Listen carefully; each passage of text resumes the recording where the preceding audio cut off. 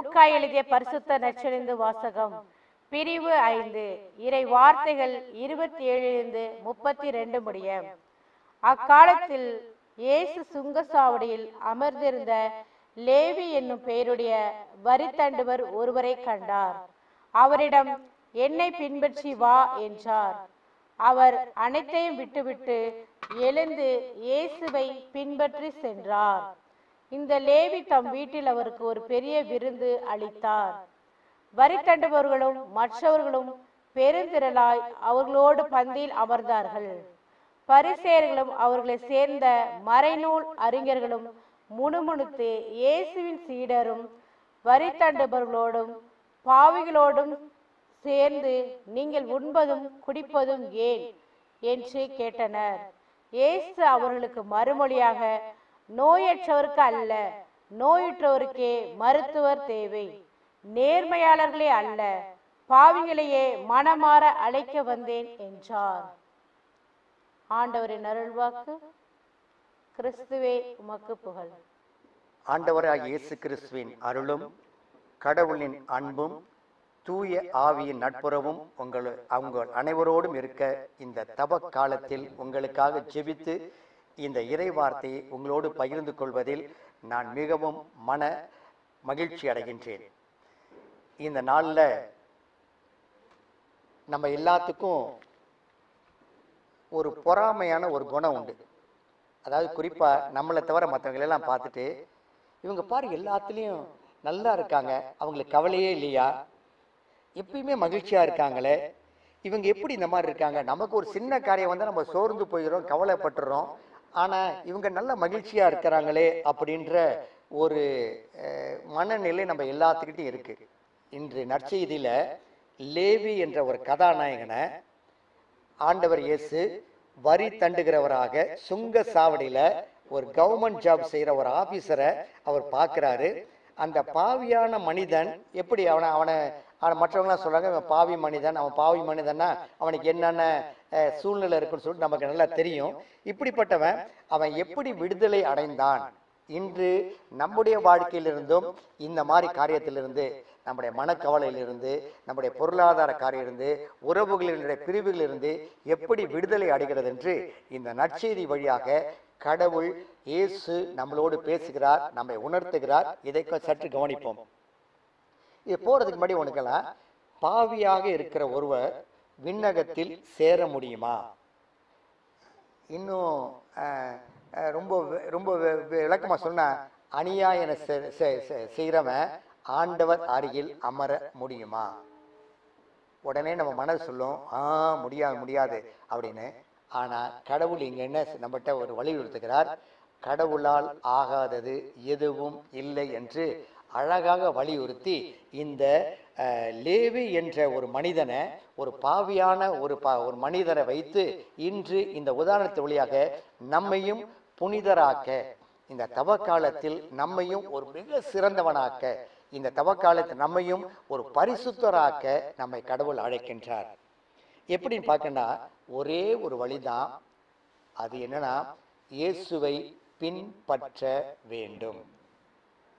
இந்த காரியத்தை போகிறதுக்கு முன்னாடி பார்த்தீங்கன்னா இந்த இயேசு பா பாவியான ம- மனிதனுக்கு இயேசு இப்போ எப்படி அவர் சொல்கிறாரு நானே வழி என்னை பின் செல்கிறவன் இருளில் நடவான்.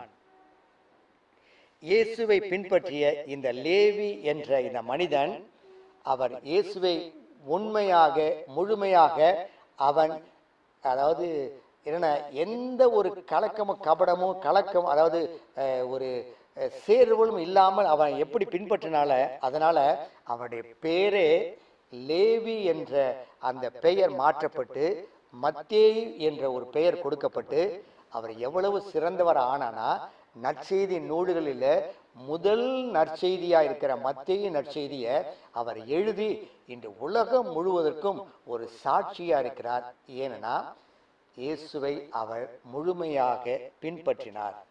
இப்போ இந்த பின்பற்றுறது எப்படி என்பதை நம்ம இந்த லேவியை பார்க்கறதோட லூக்காஸ் நட்சதி பத்தொன்பதாம் அதிகாரம் ஒன்று முதல் ஒன்பது வரை நடந்த இந்த நிகழ்ச்சிகளை அதாவது இயேசு சக்கேவை சந்தித்ததும் சக்கேவுடைய மனமாற்றத்தையும் பற்றி பார்க்கும் பொழுது இந்த காரியத்தை நம்மளால் இருக்கலாம்.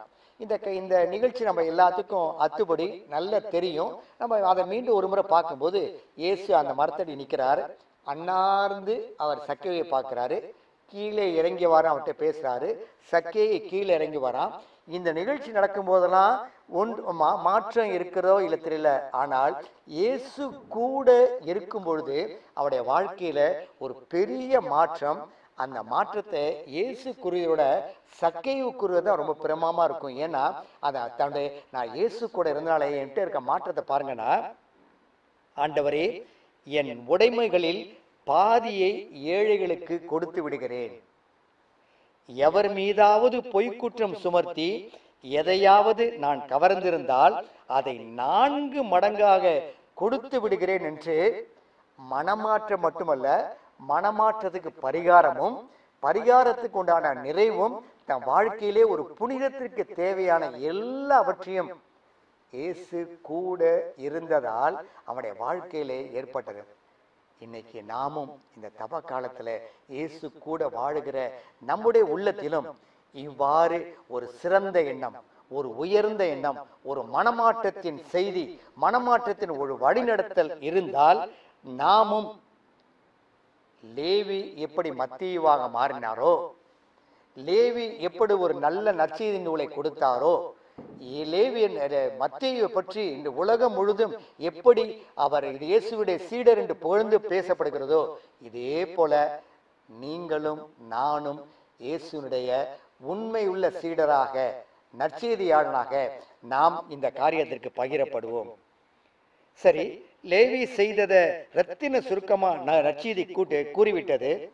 அவர் எப்படி சொல்லனா தன் வீட்டில் அவர் ஒரு பெரிய விருந்து அளித்து தன்னுடைய செயலை மாற்றிக்கொண்டார். எப்பொழுது நம்ம விருந்து கொடுப்போம்னா நம்முடைய மழு உள்ளத்துல மகிழ்ச்சி தாங்க முடியாத ஒரு சொல்லனா ஒரு மகிழ்ச்சி ஏற்படும் பொழுது நம்முடைய மகிழ்ச்சியை பிறரோடு பகிர்ந்துவதற்கு நம்ம விருந்து கொடுப்பது மார்க்கம் இந்த லேவி என்பவர் அவர் கடவுளுடைய கூட பின் வழியை பின்பற்றினால் ஏற்பட்ட அந்த மாற்றத்தின் விளைவாக ஒரு பெரிய மகிழ்ச்சியை அவர் கொண்டாட இந்த பெரிய விருந்தை அவர் ஏற்பாடு செய்கிறார். அதற்கு பரிசு பரிசேரிகள் சரி செய்ய வந்தாங்க அவங்க என்ன போற பாருங்க. எல்லாமே இயேசுவோட வந்தாங்க. ஆனால் மனமாற்றுவன் பெற்று மனமாற்றம் பெற்ற ஒருவர் மட்டும்தான் இந்த மாதிரி ஒரு பெரிய விருந்து சென்று செய்து அதை மகிழ்ந்து மகிழ்ச்சி எடுக்கிறார் மற்றவர்கள் எப்படி இருப்பாங்கன்னா வேடிக்கை பார்ப்பவர்கள் அவர்களை இதற்குள்ள என்ன நடக்கிறது அதை அதை அதை கூர்ந்து கருக்காது அதில் குறை சொல்ல வருவார்கள் சொல்ல என்ன- இவர் பாவியோடும் இவர்கள் எல்லாத்தோடும் சேர்ந்து இவர் விருந்து உண்ணுகிறாரே என்ற ஒரு குற்ற குற்றப்படுத்தும் ஒரு ஒரு செயலை செய்வார்கள். இந்த யூத லாங்குவேஜில் யூத கலாச்சாரத்தில் இந்த பாவி அப்படின்னா அவங்க யாருன்னா? பாவம் செய்தவங்க மட்டும் இல்லை. அவங்க ஏழைங்க நோயாளிங்க குஷ்டரோகிங்க வாழ்க்கையில மனிதராய் இருக்க தகுதி இல்லைன்னு தள்ளிவிடப்பட்டவங்கள தான் இவர்கள் பாவிகள் என்று இருக்கிறாங்க.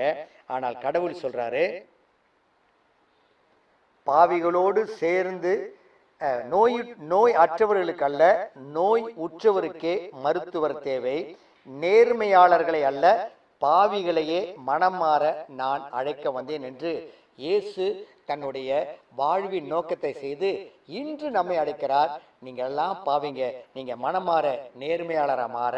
நீங்கள் நோயுற்று இருக்கீங்க நீங்க நோயற்றவரா மாற கடவுள் உங்களை என்னை அழைக்கிறார். எப்படின்னா நாம் அவருடைய அந்த ச- நம்முடைய எல்லா பலவீனத்தையும் விற்று எப்படி சக்கேயோ இயேசுவோடு இருந்தனால் தன்னுடைய வாழ்க்கையில் ஏற்பட்ட மனமாற்றத்தை செயல் வடிவம் காட்டினாரோ அதே போல லேவி என்ற மத்தியு தன்னுடைய செயல்பாட்டு வழியாக ஒரு உயர்ந்த இடத்தை அடைந்தாரோ அதே போல நாமும் இந்த செய்தி வழியாக இயேசுவுக்கு உகந்த ஒரு நல்ல ஒரு கருத்துள்ள ஒரு புண்ணிய சீடனாக மாற நம்மை நாம் ஒப்பு கொடுப்போம் அதற்கு தேவையான வரத்தை இந்த இந்த- இந்த ஜெபத்தின் வழியாக நம் கடவுளை கேட்போம். அன்பான ஆண்டவரே எங்களையும் பெயர் சொல்லி அழைத்தீர். எங்களுக்கும் நல்ல நற்செய்தி வாழ்வை கொடுத்தீங்க. உம்மை பின்பற்றி வர. அனைத்தையும் விட்டுவிட்டு உம்மை பின்பற்றி வர. ஆண்டவரே எங்களுக்கு உண்டான எல்லாவற்றையும் இழந்து நாங்கள் இழந்ததை அதை பெரும் மகிழ்ச்சியோடு மற்ற எல்லாரோடும் பகிர்ந்து சு- பகிர்ந்து விருந்து உண்டவும் எதுவும் எனக்கு இல்லை. எல்லாமே எனக்கு இயேசுதான் என்று அந்த இயேசு ம- வாழ்வை அவருடைய நாமத்தை என்னுடைய வாழ்வாக்கவும். நோய் அ- உற்றவர்களுக்கல்ல. நோய் அற்றவர்களுக்கு மருத்துவர் தேவை என்று இயேசு சொன்னது போல. பா- பாவிகளை அல்ல. சாரி நேர்மையாளர்களை நேர்மையானவர்களை அல்ல. பாவிகளையே அழைக்க வந்தேன் என்று இயேசு நம்மை அழைத்தது போல. ஆண்டவரே பாவிகளாகிய நாங்களும் உம்மை பின்பற்றி வருகிற மன தாராளமா இருக்கிறோம் ஆண்டவரே. ஆண்டவரே எங்களை வழி நடத்தும் உம்மை முழுமையாக பின்பற்ற எங்களுக்கு ஆசிர் கொடும் எங்களுடைய ஜெபம் கேட்டு எங்களை புனிதராக மாற்ற இந்த தவக்காலம் எங்களுக்கு உதவுவதாக உன் பாதம் வீழ்ந்து கிடக்கிறோம். இயேசுவின் நாமத்தில் ஜெபிக்கிறோம். எங்கள் நல்ல ஆண்டவரே. ஆமேன்.